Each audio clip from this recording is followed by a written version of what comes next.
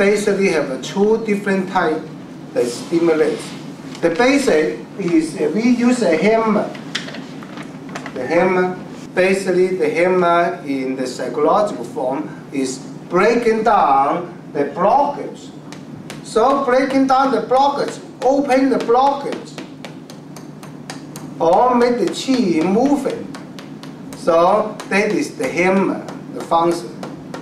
Then another thing is we use the laser.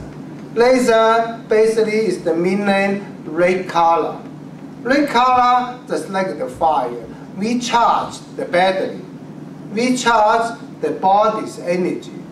Or laser is a radiation meaning. So we use on the cancer to burn it out, the tumor, kill the cancer. So that is on the psychological mind. That is the laser.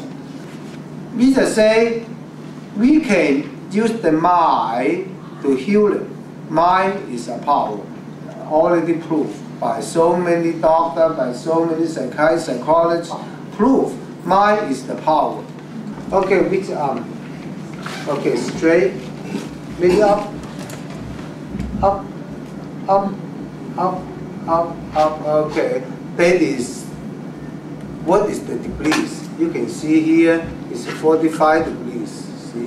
Ready? So we from the C5, 6, 7 on the right side, then going down to the SP12 inside the collarbone, then out point around the shoulder, then going down,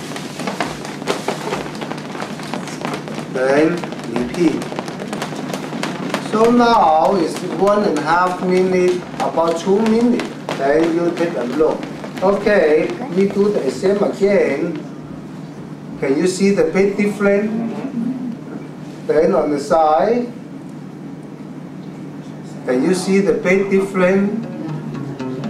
So in our practice, you never heard any people say, I am a Tong Ren master.